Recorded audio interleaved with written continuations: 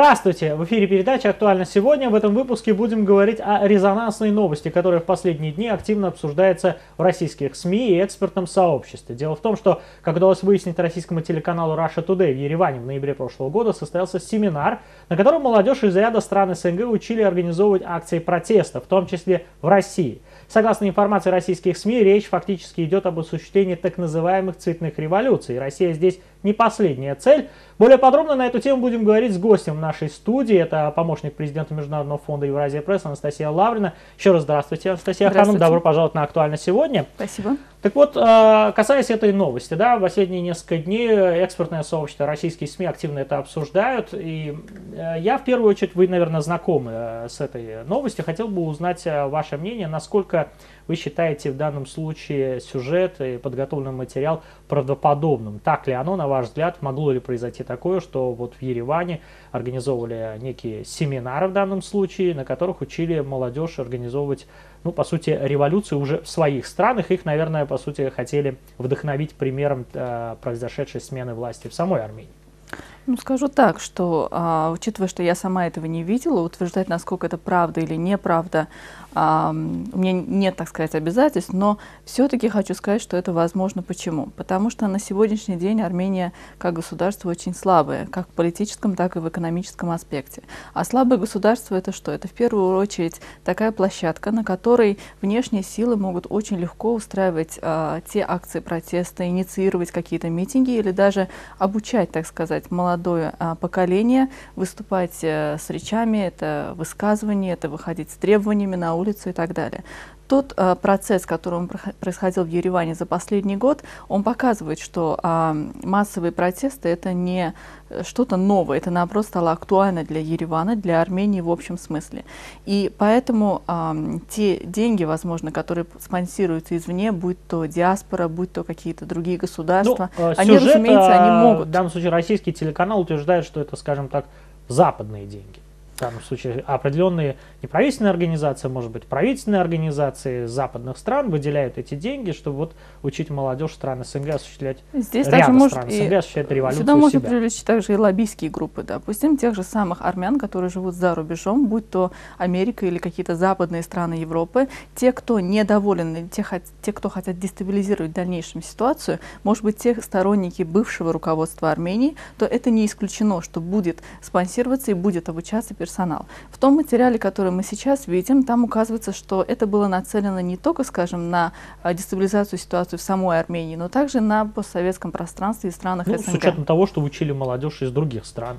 В данном да. случае СНГ. Да. А почему была, а, к тому, к чему я веду, хочу сказать, что Армения это та страна, которая на данный момент наиболее дестабильна и которая может быть выбрана для проведения подобных мероприятий. Поэтому то, что мы сейчас видим, это э, возможно, на мой взгляд. Опять-таки хочу подчеркнуть, что я не была свидетелем этого, но на мой взгляд это возможно. Возможно обучение э, персонала проводить какие-то митинги, а каким образом это необходимо проводить. Ведь а, просто так выйти на улицу, тем более если это холод, если это зимой, не каждая молодежная группа решится на это. Это необходимо спонсирование получить, для этого необходимо иметь определенный план действия и напутствие, то есть с чего начинать. Главный редактор телеканала Russia Today Маргарита Симонян, она давала подробное интервью об этом журналистском расследовании, которое она говорит, что провел их э, телеканал. И что обращает на себя внимание, да, там говорится о том, что молодежь из стран, э, из ряда стран СНГ приехали в Армению, их обучали вот э, акциям протеста и так далее, но подавляющее большинство было из России. И в России, надо сказать, что это приняли все на свой счет, большей части. Они говорят, что именно вот готовятся, э, в данном случае семинары, все это молодежь призвана, чтобы что-то сделать э, в Российской Федерации, то есть имеется в виду акции протеста, революция, а по сути это государственный переворот. Ну, э, зная отношение Москвы, Российской Федерации к цветным революциям, да, вот такого рода посыл, он весьма и весьма опасный в данном случае, и он опасен не только для тех, кто, допустим, организовывал это, возможно, это какие-то люди из за пределами Армении, или финансировал, тоже, может быть, люди за пределами Армении, но площадка-то Армения, ее предоставили в данном случае, это опасно ну, как я считаю, для самой э, стороны, которая предоставляет такую платформу в данном случае. Как вы считаете, в Армении четко понимают, что они в данном случае делают? В первую очередь, разумеется, это посыл для армянского государства и э, тот факт, что сейчас Армения полностью зависит как от России в экономическом плане, также и все контакты у нее находятся именно на постсоветском пространстве. Больших инвестиций Запада на официальном уровне, я хочу сказать, Ереван не получает. Поэтому а, тот факт, что если даже Армения предоставляет эту площадку, и это становится известно, то это в первую очередь идет минус как к руководству страны, что оно не может стабилизировать свою ситуацию. И во-вторых, если не происходит каких-либо определенных мер, по а, наказанию подобного рода деятельности, то, разумеется, это показывает Армению как очень слабое государство в политическом аспекте, которое теряет ситуацию, теряет контроль, любой какой-либо а, контроль над ситуацией в своей стране. А, Российская Федерация достаточно сильное государство. Сказать, что а, подготовить каких-либо специалистов, а потом запустить их а, в страну для дестабилизации, это достаточно трудный маневр, так сказать, учитывая, что они в первую очередь обучаются где-где в Армении. Какого формата формата они готовят там людей и кого они планируют делать, это то есть э, достаточно трудный вопрос обсудить на этом. Но это еще раз показывает неспособность армянского государства и правительства взять контроль под, э, взять все-таки этот контроль в свои руки. Здесь мне другое интересно. Мне интересно, какова будет реакция международного сообщества на данный аспект. Каково, э, начиная как с правительства Армении и заканчивая теми же западными институтами, за, те борцы за права человека, которые все-таки э, выступают достаточно с критикой, особенно в отношении стран на, стран на постсоветском пространстве, конфликт. Знаете, а здесь обращает внимание еще на себя такой момент, вот вы сказали, способна Армения, не способна, международное сообщество, не международное сообщество. Ну, как бы должно ли кого-то волновать в России, способна Армения контролировать ситуацию на своей территории или не должно? Ну, на, на мой взгляд, в первую очередь, не особо сильно и должно волновать. Международное сообщество – это совсем другой вопрос. Если уж, а, опять же, российские СМИ а, говорят об этом а, семинаре как о семинаре, основная цель которого была именно осуществить какую-то, подготовить людей для осуществления революции, а по сути госпереворота. Вот мне интересно, в Российской Федерации, мне интересно ваше мнение, какой будет реакция Российской Федерации на такое гостеприимство в кавычках Армении, и ну вот Армения как бы она на бумаге, она же союзник Российской Федерации, и получается, что вот этот союзник э, предоставляет площадку для того, чтобы люди собирались и, по крайней мере, размышляли и их обучали о том, что как дестабилизировать э, ситуацию в Российской Федерации. Какой должна быть реакция Российской э, Федерации и какой она будет, на ваш взгляд? Ну, на мой взгляд, во-первых, хочу ответить на ваш комментарий, почему это так важно для России в том числе, потому что Россия как бы является одним из главных инвесторов в эту страну. Если завтра все-таки, сейчас, скажем, а, действия данной группы удалось э, выяснить, удалось предотвратить в какой-то мере. Ну, выявить, предотвратить выявить. не предотвратить, ну, выявить. А где это будет завтра открыто и происходит ли то же самое с группами на, а, скажем, других городах или на другой части территории Армении, это еще предстоит выяснить. Поэтому, как-никак, все-таки Россия это должно в какой-то мере волновать.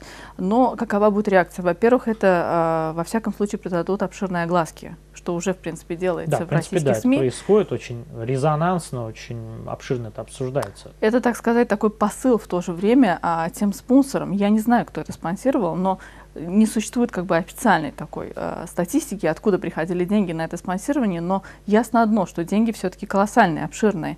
Поэтому это ясный посыл тем спонсорам, что в дальнейшем это может открыться, это может придаться огласке, кто все-таки стоит за всем этим. И, разумеется, после этого можно ожидать каких-то конкретных, э, так сказать, посылов правительству Еревана о том, что Армения должна все-таки понять, на, э, на какое будущее она нацелена.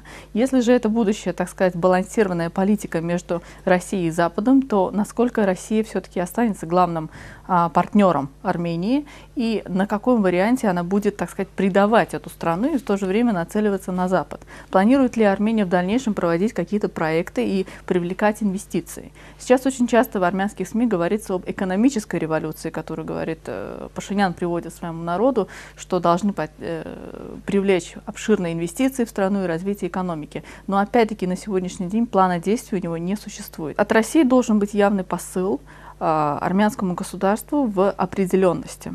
Иначе в дальнейшем мы можем видеть, сейчас он, э, Россия подняла цену, стоимость на газ для Армении. В дальнейшем, может быть, а, какие-то уже возникают вопросы в экономическом сотрудничестве. Это как в Альянсе, это также а, в инвестициях не только, скажем, из Российской Федерации, но и из других стран СНГ.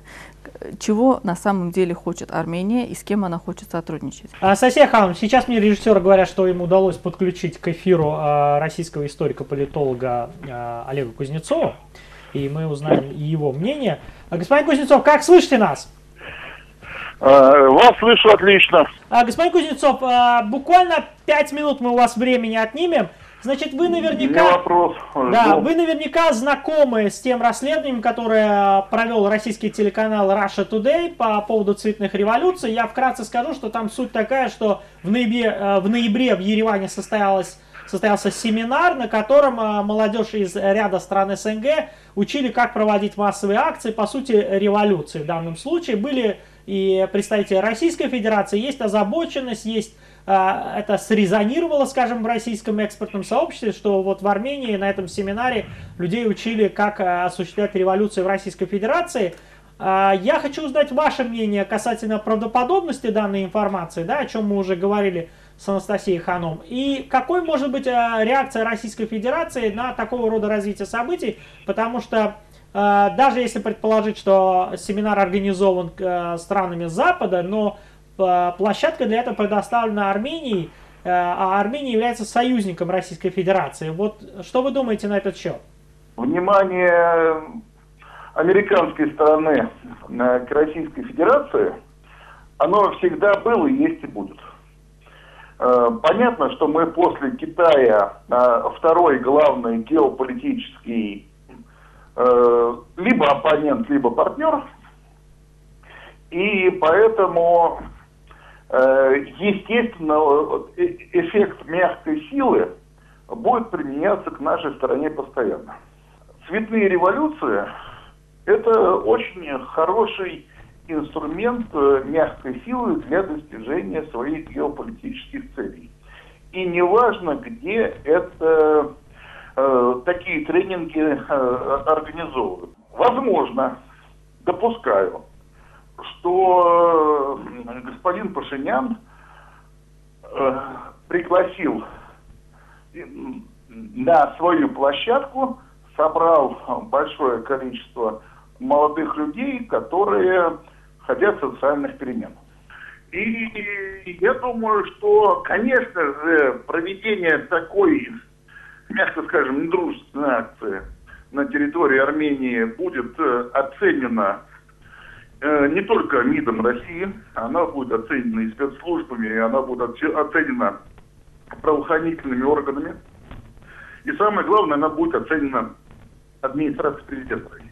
Господин Кузнецов, у меня один уточняющий вопрос. Нас, как бы, опять же, э, Армения является союзным государством. Вот вы сказали, что вот э, предоставление такой платформы, оно будет соответствующим образом оценено а, в Российской Федерации в соответствующих инстанциях. Но как бы если говорить о революции, как бы один из синонимов это по, по сути госпереворот, да? Вот опять же с этой точки зрения, а, насколько вот, а, как вы считаете, в Армении понимают, что делают в данном случае? Ведь речь идет не о какой-то критичной публикации, о том, что приехал человек, которого, скажем, допустим, в России не хотели бы видеть, но он приехал в Армению. Но люди реально серьезно обсуждают о том, что как осуществить там акции. В России в данном случае это воспринимают, что как попытку осуществить а, как попытку обучить граждан России, как осуществить цветную революцию, цветную революцию в Российской Федерации. Как это стыкуется вот э, со статусом союзника в данном случае? Очень многие, э, ну, понятно, хотят э, изменения существующего политического режима для того, чтобы э, осуществлять свои макроэкономические цели. И в этих условиях, естественно, России приходится защищаться. Э, возникает вопрос только в другом. Э, когда у нас в политическом руководстве происходит осознание того, кто нам друг, а кто нам враг. Так вот, э, в последнее время господину Пашиняну удается сохранять некий внешний баланс, говоря э, о том, что он занимается внутриполитическими проблемами, при этом э, делая всякие мелкие уколы и шпильки в адрес э, Российской Федерации. Да, вот не, не хочу растекаться, что называется, мыслью по древу, но тем не менее маленькая информация, которая э, является не инсайдерской, а которая является официальной, когда в Сочи проводилась э, Олимпиада в 2014 году, было предотвращено 57 терактов. Это объективный факт. И исходя из этого, я могу сказать, что э, страны между собой на международном уровне всегда конкурируют и используют всегда честные и э, хорошие приемы. Да? Э, при этом для, для этого всегда существуют э, спецслужбы, которые отслеживают ситуацию, предотвращают, э, останавливают и при этом еще анализируют. Так вот, я думаю, что та ситуация, которая сейчас существует э, в российско-армянских отношениях, она свидетельствует о том, что начинается очень мягкий, но при этом э, неприятный для России дрейф э, в сторону западного мира. Понятно. Большое спасибо, господин Кузнецов. Пожалуйста. Спасибо. Спасибо. Асасихам, э, я хотел бы, чтобы вы прокомментировали еще один такой момент. Опять же, возвращаясь к словам главного редактора Russia Today Маргариты Симонян, она, объясняя суть этого мероприятия в Ереване, этого семинара, почему эти люди туда собрались, почему граждане Российской Федерации, молодые люди собрались, она э, использовала такую фразу, которую как бы разделяют участниками мероприятия, о том, что Путина не любить это модно. Ну, понимаете, как, когда союзник Российской Федерации предоставляет площадку для людей, которые считают, что не любить Путина а, модно, хочется задать вопрос. Значит, и власти в Армении тоже разделяют эту мысль? О том, что да, вот такого рода подход к руководству Российской Федерации они разделяют в данном случае? Ну, я бы сказала, что, как я отметила в начале передачи, та молодежь, которая все-таки присутствовала на этих семинарах, тут могли сказать что угодно. Просто пытались найти а, какое-то общее между участниками. Возможно, те люди, которые а, не обладают достаточными финансовыми ресурсами, или же они все-таки а, не на той должности, которую они хотят видеть, будь то Российская Федерация, будь то Армения любая другая страна на постсоветском пространстве. То есть нашли что-то общее и сделали такую идеологию, так сказать, которая а, будет мотивировать этих участников в дальнейшем а, становиться все более и более так сказать, слепыми в этом отношении и идти туда, куда ему кажут путь. Будь то а, нелюбовь к Путину, президенту, будь то а, нелюбовь к каким-то чиновникам, или недовольство коррумпированной системы, или экономической нестабильность страны. То есть нашли ту идеологию. А, так сказать, не любовь к Путину – это любимая идеология Запада, разумеется, которая ну, она Западом все часто... понятно. У них напряг э, с Россией, мы это видим все последние А здесь годы. просто нашли А как в случае идеологию. с Арменией, они, э, если они предоставляют площадку для этого, они разделяют эти мысли в данном случае? Я не думаю. На мой взгляд, может быть, почему эта площадка также была предоставлена, потому что здесь идет хорошее спонсирование, идет хорошее финансирование со стороны. И учитывая тот факт, что, э, как я до этого отмечала, если эта площадка была предоставлена, разумеется, государство о ней было в курсе. Если не в самых верхних кругах, то на какой-то этапе, на каком-то варианте государство, чиновники, парламентарии, они должны были об этом знать. Невозможно просто провести какое-то мероприятие, если при этом не информировать определенные источники. Степень погруженности тогда властей вот в этот вопрос, в, это э, в Армении в том числе существуют те же политики, которые не любят Россию. Или те политики, которые за деньги готовы не любить Россию. Тем более после смены власти. Поэтому сейчас вот эта идеология, она все-таки а, проскользнула на данном семинаре. Она сплотила, так сказать, определенных участников и э, дала им понять, что если они будут двигаться по намеченному курсу, если они все-таки будут поддерживать спикеров данного мероприятия, то в, дальнейших, их, в дальнейшем их ожидает светлое будущее и какие-то перспективы в той же стране, будь то Армения, будь то Российская Федерация или любая страна на постсоветском пространстве. Э, все те участники, которые были, они шли за какими-то бенефициями, они шли за какими-то а, положительными финансовыми ресурсами в дальнейшем, за какими-то должностями, возможно. Поэтому а, сейчас эта идеология, она просто была а, выбрана как что-либо, что может сплотить а, участников на выбранной площадке в Армении. А второй вопрос вы правильно отметили. Какова реакция будет а, армянского правительства на это? Потому что если они планируют в дальнейшем... Я очень извиняюсь, говоря о реакции, вот, например, есть признание некоторых парламентариев армянских, которые к тому времени как бы они не были избраны в парламент, но уже сейчас э, состоят в армянском парламенте, потому что выбор состоится в декабре, а мероприятие да. было в ноябре. Они как бы признают, что да, были на этом мероприятии. Это к вопросу о погруженности людей, которые сейчас у власти, в правительстве, в данный вопрос. Те, кто в этом участвовали в заговоре, те, кто были, разумеется, участниками данного мероприятия, повторюсь, они искали какие-то бенефиции для себя. Даже если а, парламентарии участвовали в этом, то, так сказать, э, сейчас нам интересно другой вариант. Сейчас интересно, как высшее руководство Армении будет на это действовать. Как она постарается оправдать себя, так сказать. То есть сейчас... Кстати, как? Как она планирует довериться в дальнейшем. То есть сейчас уже у России есть все-таки сомнения, в том, что же в дальнейшем будет делать Армения, как она в дальнейшем себя поведет. А если нет этой стабильности, если нет доверия между странами, то это идет и отражается уже в плохом аспекте на всех других вариантах сотрудничества. Это может быть медиапартнерство, это может быть политическое, экономическое, социальное, э, работа с диаспорой и так далее. А как сейчас Пашинян, кто стоит, так сказать, во главе государства, все-таки планирует а, оправдаться перед э, странами. И тут, если мы говорим о странах, это не только Российская Федерация, тут идут все страны. Как... Об этом, кстати, там же сразу несколько стран СНГ, мы поговорим отдельно. А, Анастасия Хам, опять же, а, как бы подытоживая вот тему этого семинара, в качестве пособия а, на этом семинаре использовался плакат с изображением Владимира Путина на мероприятии, где говорили о том, что вот надо проводить акции протеста, о революциях и так далее. А, надо ли еще кому-то что-то объяснять, что эти люди там обсуждали в данном случае? Это опять же в плане искренности армянской страны, которая предоставила платформу, опять же, вот платформа, на которой обсуждают акции протеста, революционные движения. Армянская сторона делится э, своим опытом, и не только, да, людей, скажем так, пытаются заразить своим опытом. Э, в качестве пособия используется плакат с изображением Владимира Путина в данном случае. Да? Вот надо ли еще кому-то что-то здесь объяснять?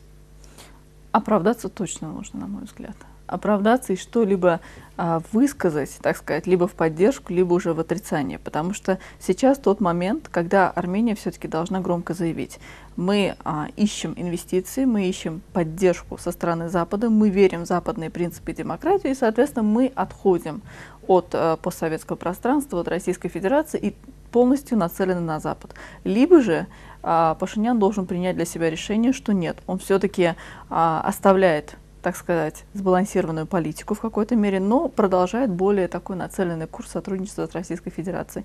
Тут сейчас должна быть внесена какая-то ясность. По крайней мере, на мой взгляд, мне кажется, это позволит в дальнейшем строить внешнюю политику Армении, а, входить в какие-то экономические проекты, политическую деятельность и так далее.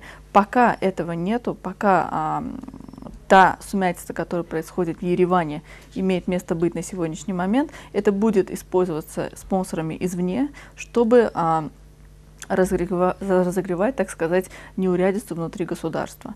А то, что к чему это может привести в дальнейшем, это может привести также к внутренним волнениям в самой Армении в дальнейшем. Мы большей части говорим о Российской Федерации, потому что ну, в России это обсуждает именно как непосредственную угрозу для Москвы и для России, но надо сказать, что там э, вопрос касался и участвовала молодежь из других стран э, СНГ, в частности стран, которые являются входят в Евразес, в ОДКБ, есть там а, Армения тоже. А, как вы считаете, что как остальные воспримут вот это желание Армении казаться неким революционным флагманом и обучать, заражать, скажем так, своим опытом вот граждан остальных стран СНГ? Какой будет реакция остальных стран?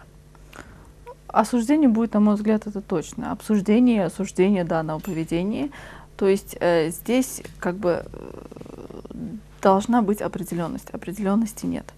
И а, обсуждаться в СМИ это уже имеет место быть, и это будет продолжаться. Если сейчас это только в России, но, на мой взгляд, это только, так сказать, начало а, обсуждений, которые в дальнейшем все-таки пересечет в другие страны. Это может выходить на уровне а, различных историков, различных исследователей, которые все-таки политических комментариев, которые То есть это может ухудшить отметиться. отношения Армении с э, Это уже стран? ухудшило, и я скажу так, Армения потеряла ту доверенность еще в прошлом году когда происходила ситуация в ОДКБ, в экономическом пространстве, когда Армения начала все-таки метаться и не понимать, какую политику, какой курс ей выбрать, так сказать, а, еще на тот период эти отношения уже испортились. И э, как-никак сейчас э, происходит то, такая последовательная реакция, которая началась с того момента, и сейчас это продолжается и продолжается. И э, сейчас подобное поведение должно э, все-таки давать понимание такое куда нацелена в дальнейшем идти Армения все-таки. А, если это идет западная сторона, или это идет российская сторона, или это идет а, более интенсивная интеграция со странами СНГ, то есть что здесь сейчас есть? Та, э, так сказать, то доверие, которое Армения все-таки потеряла со странами, она в дальнейшем происходит в экономическую реакцию. То есть, а Запад одно это... из тех проблем, что вы считаете, что, насколько я правильно, если вас правильно понимаю, что в Армении все еще не определились э, с внешнеполитическим вектором, да. поэтому вот такого рода мероприятия, которые как бы с одной стороны вредят их отношениям с э, странами, допустим, СНГ, они э, вот э, получается возможны в Армении, но с другой стороны они декларируют о том, что вот как бы они в Евразес, они в ОДКБ и так далее. То есть это именно проблема внешнеполитических ориентиров. Страна это, все еще... это проблема внешнеполитических ориентиров, и в том числе это опять-таки желание, а, так сказать, правительства Армении все-таки приманить инвесторов западной стороны. Ведь единственный подход, который Армения может предложить Западу, не имея какой-либо инфраструктуры и экономики, это ее, так сказать, нацеленность на экономические принципы, на принципы а, свободы слова, Но на это интеграцию. опасный путь. Вы хотите сказать, что они хотят казаться хорошими для стран Запада, получить деньги и делая, скажем, мягко говоря, ну как это назвать, пакостями, что для отдельных стран СНГ, ну это как бы опасно. Ну она давно стоит, Армения давно стоит на этом опасном пути, еще с прошлого года, как только Пашинян пришел к власти, он ведет этот опасный путь. И, так сказать, если все-таки он идет на Запад, и если все-таки он предоставляет эту площадку, так сказать, э, ни одна а, стран-член СНГ или же а, ни Российская Федерация, ни какие-либо страны, граничащие с Арменией, не потерпят того, чтобы на территории а, армянского государства, так сказать, а, готовились люди, революционеры, боевики, которые в дальнейшем все больше и больше будут дестабилизировать ситуацию как в регионе. То есть Армения так, фактически экспортирует нестабильность таким образом? Она и так, это нестабильное государство, которое по вине которой продолжается также Нагорно-Карабахский конфликт на протяжении столько, такого периода времени. То есть э, это все дестабилизирует и не дает полноценному развитию Южно-Кавказского региона. Ну что ж, Анастасия Хама, большое спасибо за участие, интересные спасибо. содержательные ответы. Я напоминаю о том, как в Ереване молодежь из ряда стран СНГ обучается осуществлять революции и как на это реагируют в России. Мы говорили в рамках передачи «Актуально сегодня» с гостем в нашей студии. Это помощник президента Международного фонда Евразия Пресс Анастасия Лаврина. До свидания. you